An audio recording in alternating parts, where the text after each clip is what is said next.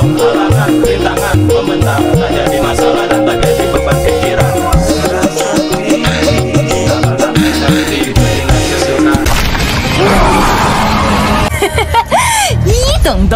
Halo assalamualaikum teman-teman. Jumpa lagi dengan saya Ilham Haris. Selamat datang di channel Purnomo The Series. Gimana kabar kalian?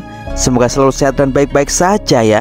Kali ini kita akan meneruskan merangkum Donghua Sisingji Season 7 versi Manhua episode 28 ya guys. Dan alangkah baiknya teman-teman juga nyimak episode-episode sebelumnya biar tahu cerita selengkap-lengkapnya.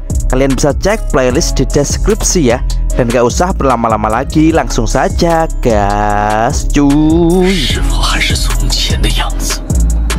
Di episode sebelumnya diperlihatkan roh darah bumi yang telah menceritakan hubungan pertemanannya dengan Raja Kebajikan di mana roh darah bumi ternyata dikhianati oleh Raja Kebajikan hingga terbunuh guys Sedangkan Wukong pun juga dikagetkan dengan kemunculan Suyi saat bertarung melawan Raja Siti Garba. Di episode ini, scene diawali diperlihatkannya Wukong yang sangat kaget ketika akan memukul Siti Garba. Tiba-tiba muncul Suyi di depannya. Wukong, ucap Suyi di situ memanggil Wukong Hal itu langsung membuat Wukong sangat terkejut dan berkata, Apakah itu benar-benar dirimu Suyi? Wukong pun langsung mendekat dan berkata, Aku sangat merindukanmu. Dan ia pun langsung memeluk Suyi Suyi pun juga langsung membalas perkataan Wukong dengan berkata, Aku juga tahu kalau itu semua adalah tipu muslihat dari Stigarba Kerabat pun langsung berteriak, Wukong, hati-hati. Hingga kemudian tangan Suyi pun menyentuh dada dari Wukong dan tiba-tiba Suyi pun dengan cepat berubah menjadi Stigarba. Wukong pun jadi terkejut dan duar. Seketika bersamaan Stigarba memukulkan tapaknya. Wukong juga dengan cepat memukul Stigarba dengan tongkatnya dan berkata, Aku jelas tahu kalau kamu bukan Suyi, tapi aku memang ingin melihatnya. Mereka berdua pun jadi terpental akibat dari pukulan mereka masing-masing guys Dan terlihat kini wajah Siti Garba pun terluka Dan muncul bekas pukulan dari tongkat sakti Wukong Dan sambil masih memegangi wajahnya dia berkata Wah Sun Wukong memang tidak mudah dihadapi Kamu harus membayarnya karena kau telah melukai wajahku ini Kerabatu yang sangat khawatir pun langsung menghampiri Wukong Sedangkan Wukong pun kini juga terlihat mengeluarkan darah dari mulutnya dan sambil mengusapnya ia pun berkata Legenda mengatakan bahwa Siti Garba memiliki kemampuan unik yang disebut dengan pesona Pluto yang bisa menarik lawan dengan pengaruh iblisnya. Kerabat pun kemudian bertanya, iblis apa itu? Lalu Wukong pun kemudian berkata, itu adalah ketakutan terdalam di hatiku. Lalu Wukong pun menatap tajam ke Siti Garba dan berkata, tapi bagaimana mungkin ketakutanku itu adalah Suyi? Lalu Siti Garba pun berkata, Suyi yang kau sebutkan itu, bukankah itu adalah orang yang paling kau cintai, yang kau sembunyikan di dalam hatimu? Mendengar hal itu, Wukong pun jadi heran dan berkata, Cinta. Lalu seketika Wukong pun langsung teringat kenangannya bersama Suyi dan ia pun berkata, Pertama kali aku bertemu Suyi adalah saat di Gunung Huakuo. Kemudian aku menyelinap ke surga untuk bertemu dengannya.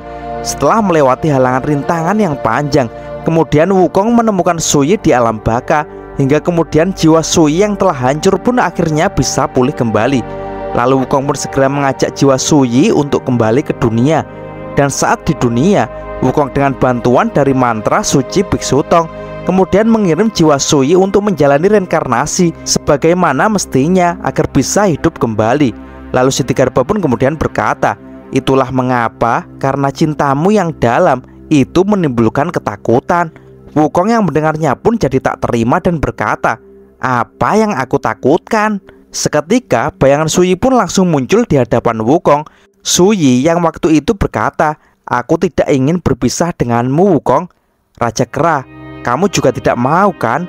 Hal itu membuat Wukong pun langsung menangis dan mengeluarkan air matanya. Ia pun berkata, "Aku mengerti. Aku takut. Aku takut tidak bisa melihatmu lagi, Suyi." Melihat hal itu, kerabat pun lalu berkata, Hei Wukong, kamu jangan bucin Kamu harus kejam dengan yang namanya cinta Jadi kamu tak takut lagi Wukong pun terdiam sebentar lalu ia pun berkata Aku punya guru dan saudara-saudara Apakah aku bisa kejam terhadap cinta?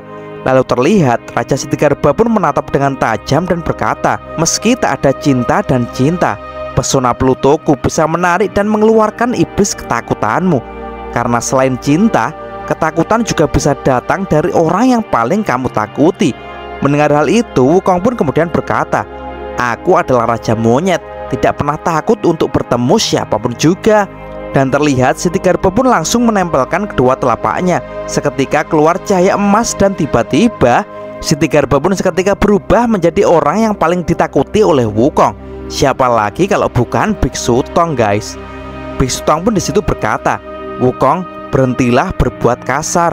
Melihat hal itu Wukong pun jadi marah dan berteriak Aku tahu kamu itu palsu. Kau pikir aku takut Lihatlah aku akan menghancurkanmu berkeping-keping menjadi debu. Iya Tanpa basa-basi Wukong pun langsung melompat dan akan memukul Biksu Tong dengan tongkat saktinya. Tapi tiba-tiba saja Wukong pun langsung kaget dan berkata Apa? Karena tak disangka Biksu Tong palsu itu pun ternyata mampu juga membacakan mantra pelebur lingkaran emas. Sehingga itu membuat Wukong mengerang sangat kesakitan guys. Wukong pun lalu melompat dan berguling-guling menahan sakit yang luar biasa itu Kerabat pun sangat keheranan dan berkata, Wukong, bagaimana kau bisa seperti ini? Biksu Tong palsu pun lalu berkata, Tan Sanzang ini dapat menggunakan pikiran dan berbicara seperti aslinya.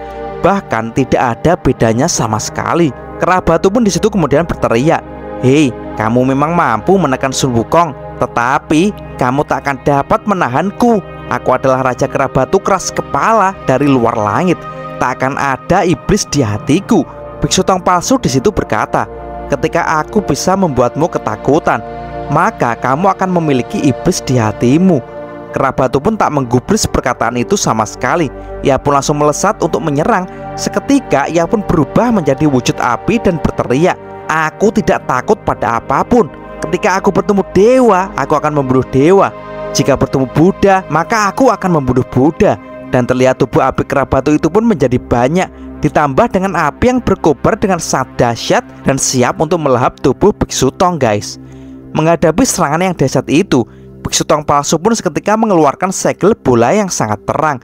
Kerabat pun kemudian berteriak, Siti Garba, kau hanya bisa bersembunyi mirip dengan penyu yang menyusut. Apakah kamu tidak mengatakan kalau hal itu bisa menjadi ketakutanku? Dan terlihat biksu tong palsu itu pun matanya langsung menyala dan berkata Hehe, kamu tidak akan bisa menerobos. Bisakah kamu pegangan dengan erat saja? Dan jiwa Pluto kehancuran. Seketika keluar cahaya yang menyambar dari bola segel Siti Garba itu.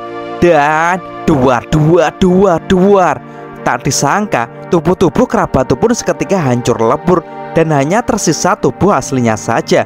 Hal itu langsung membuat kerabat pun sangat kaget karena Siti Garba pun langsung mendekat dan akan memukul dengan kedua tangannya dengan berkata, Kau bahkan tidak bisa melakukan satu gerakan pun dengan baik.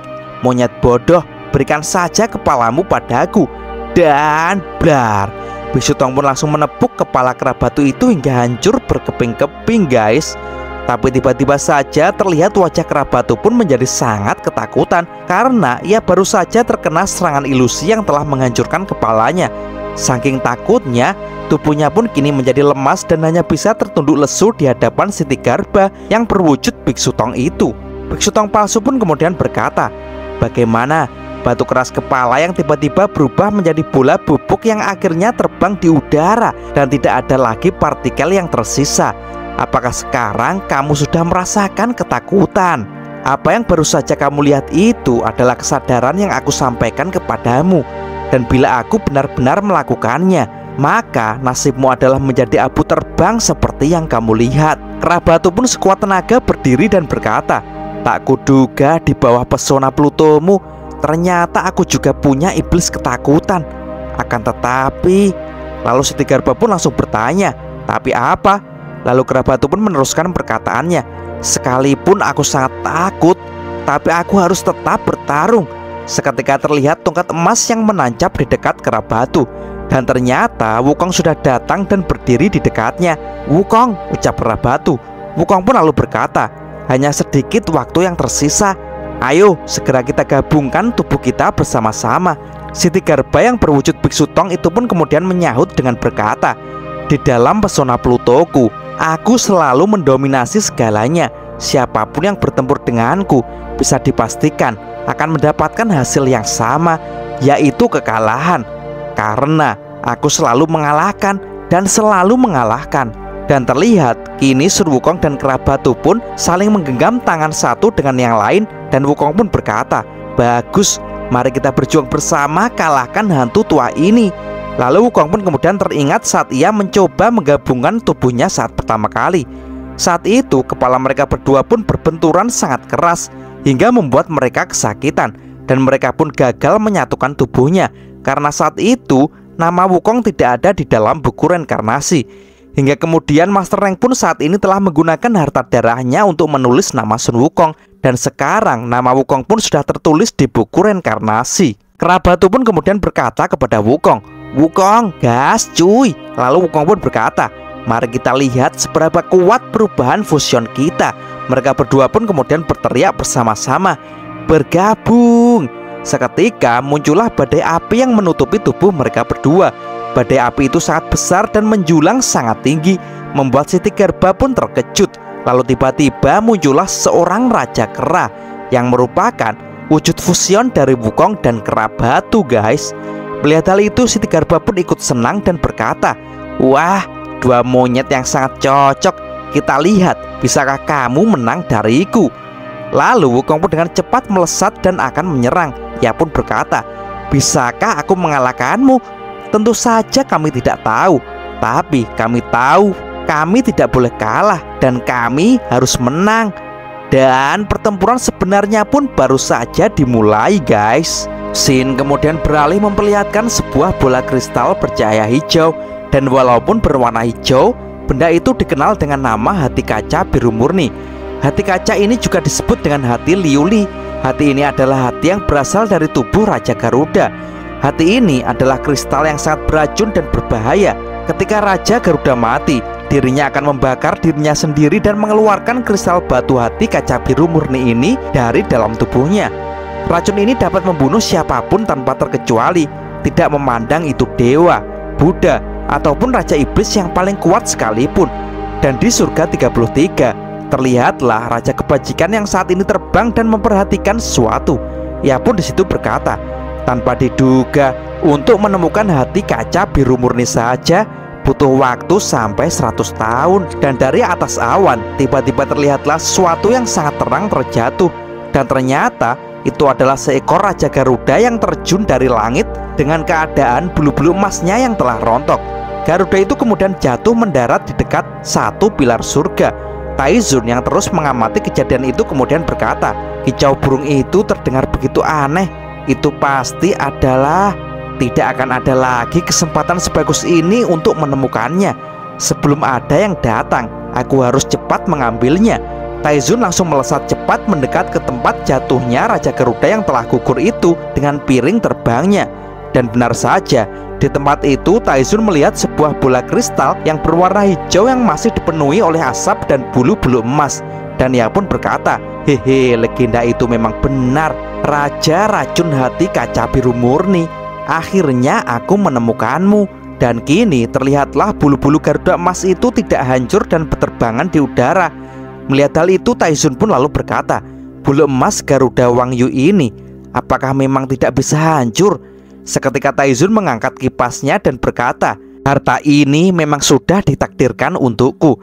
Ia pun lalu melepaskan bulu-bulu kipas miliknya dan segera menggantinya dengan bulu-bulu emas milik Raja Garuda yang ada di situ. Dan terlihat kipas Taizun pun berubah menjadi kipas bulu emas dan ia berkata, "Wow, tidak buruk, sungguh sangat bagus." Ia pun dengan cepat menggunakan kipas bulu emasnya itu untuk mengangkat hati kaca biru murni dan racun yang sangat mematikan itu sekarang sudah berada di tangan Dewa Gendut bermuka kodok itu guys Sin langsung beralih di tungku kultivasi milik Taizun. Terlihat di dalam ia sedang sibuk mengolah bola kristal hati biru murni. Ia pun memasukkan bola itu ke dalam kolam kultivasi.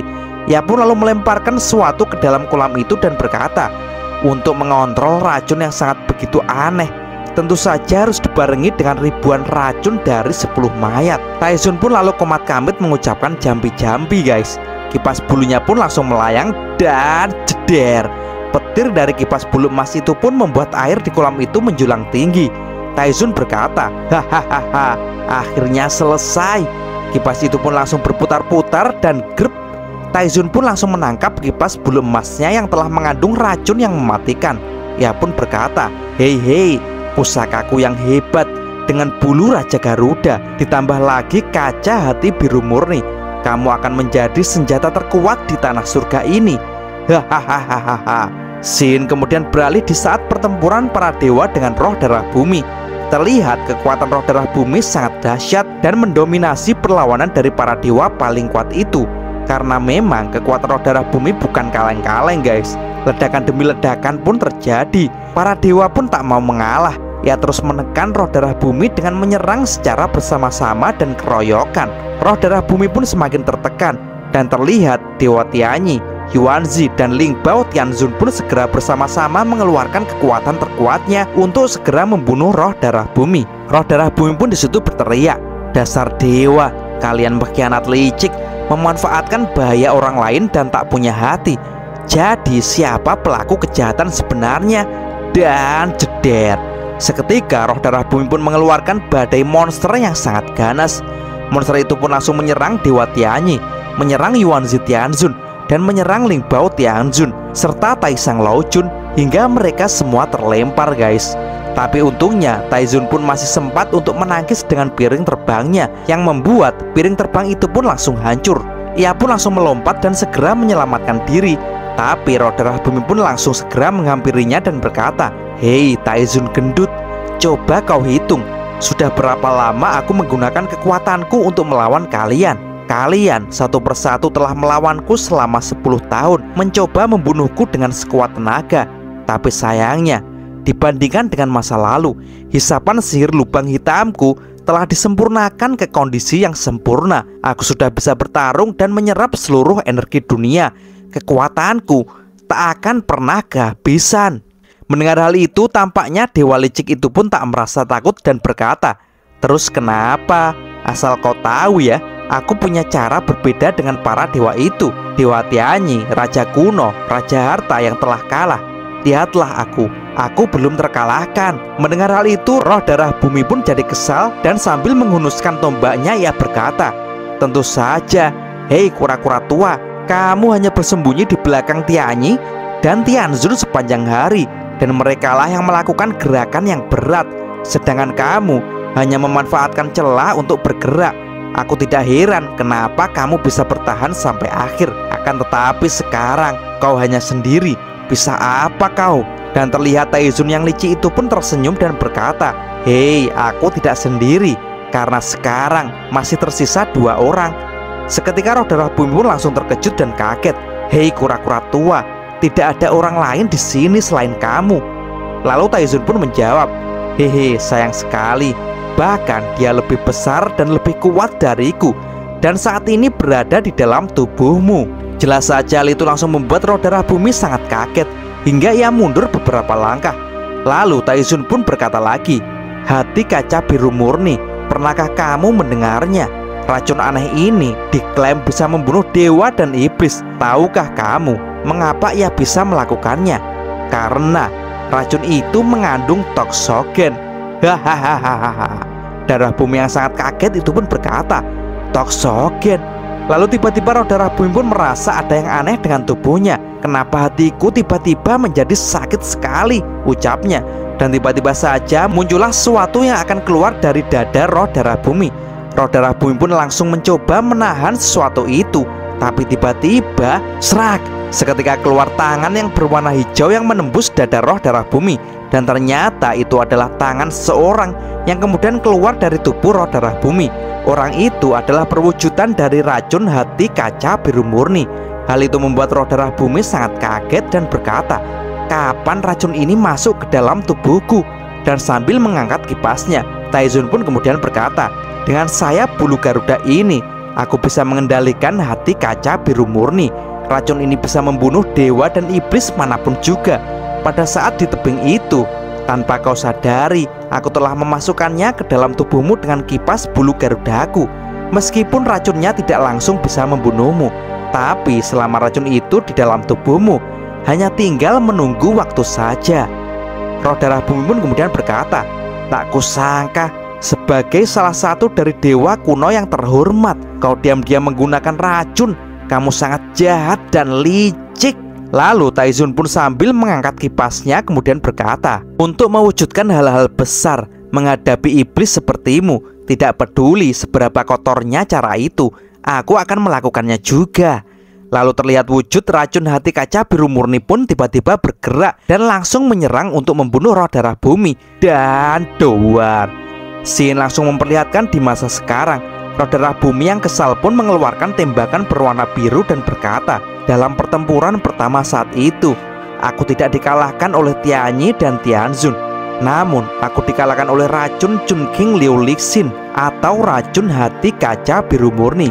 Toksogen tidak hanya menghancurkan tubuhku, tetapi juga mengambil sebagian besar kekuatan dalam tubuhku untuk membiakkan tubuh beracunnya. Jadi, itu seperti aku yang melawan diriku sendiri yang jauh lebih kuat dan melawannya. Hasilnya hanyalah kekalahan. Lalu tata kata pun di situ berkata, hati kaca biru murni racunnya sungguh sangat ajaib. Tata kata ini masih memiliki sedikit pengetahuan. Benar-benar baru kali ini aku mendengarnya karena sebelumnya aku belum pernah mendengar hal tersebut. Lalu Rodara Bumi pun berkata lagi kalau untungnya racun ini hanya bisa digunakan dua kali. Kalau lebih dari itu, dia akan keracunan sendiri. Jadi Raja Kebajikan tidak berani menggunakannya dengan sembarangan. Akhir perang yang paling tidak kuduga. Aku justru disegel ke dalam jantung hati bumi. Tata Gata, lihatlah Tampaknya ini sudah waktunya Ucap roh darah bumi. Lalu Tata Gata pun bertanya Apakah kamu butuh bantuanku? Roh darah bumi pun kemudian menjawab Tentu saja Kamu harus melindungiku Jangan biarkan ada yang mendekat dalam jarak satu kaki dari sini. Jika tidak, aku dan Sasin Guanyin akan terancam dan meledak. Lalu roh darah bumi pun membuka segel itu dan ia pun akan masuk ke dalamnya bersama Dewa Sasin. Dan ia berkata, secara keseluruhan, relik iblis dalam tubuh Sasin terbelah menjadi tiga bagian. Dan sekarang aku akan menggunakan metode mencapai puncak iblis untuk memaksanya keluar dan segel itu pun kembali menutup dengan sangat rapat seperti semula dengan roh darah bumi sudah berada di dalam bersama Sasin. Dan di dalam situ roh darah bumi pun berbicara kepada Tata Gata. Tata Gata aku sekarang menggunakan telepati untuk berbicara denganmu. Sekarang rumah ajaib pertama iblis telah kupaksa keluar. Tetapi yang kedua dan yang ketiga akan semakin sulit. Kamu harus benar-benar menjaga kami ya. Lalu Tata Gata pun berkata Jangan khawatir, aku tidak akan membiarkan siapa pun mendekatimu. Dan tiba-tiba, jeder, terlihatlah petir dari langit berwarna merah yang menyambar dengan dahsyat. Dan ternyata itu adalah Jenderal Mata Tiga bersama dengan Raja Naga Ausue guys. Hal itu jelas mengagetkan Tata Gata. Jenderal Mata Tiga pun langsung berjalan dan menghampiri Tata Gata dan berkata, Tata Gata, Bukankah yang berada di dalam bola cair itu adalah Sasin Guanyin dan roh darah bumi? Aku tidak menyangka kamu bersekongkol dengan iblis. Seketika Dewa Sanyan pun tanpa basa-basi langsung melompat dan akan menghancurkan bola air itu dan langsung berteriak. Tata Gata, beraninya kamu memanfaatkan Dewa Sasin dan dua. Dengan cepat Tata Gata pun memukul Jenderal Mata Tiga itu dengan sangat keras hingga terlempar sangat jauh guys. Tata Gata pun berkata, Situasinya sedang kritis. Kamu tidak bisa mendekati Sasin Guanyin sekarang. Dan tanpa basa-basi, Jenderal Mata Tiga pun langsung melesat kembali dan berkata, Tata Gata, aku akan membunuh iblis itu jika kamu menghalangiku. Jangan salahkan aku jika aku akan membunuhmu juga. Dan cerita pun bersambung. Oke teman-teman terima kasih sudah nyimak alur cerita kali ini sampai habis. Semoga teman-teman terhibur. Jangan lupa terus dukung channel ini agar terus berkembang ya. Dan sampai jumpa di episode selanjutnya. Assalamualaikum warahmatullahi wabarakatuh